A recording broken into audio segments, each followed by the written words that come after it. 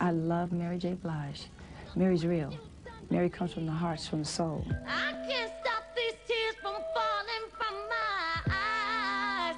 Ooh, baby, I'm going down. I can hear it in her voice. I know she has, wherever she's come from, she's come from one point to get to the other. And there is experience there. There, there is depth there. There is, there's pain. There is, there's joy. There's a lot of things. I can hear it in Mary's voice. Uh, she's my favorite.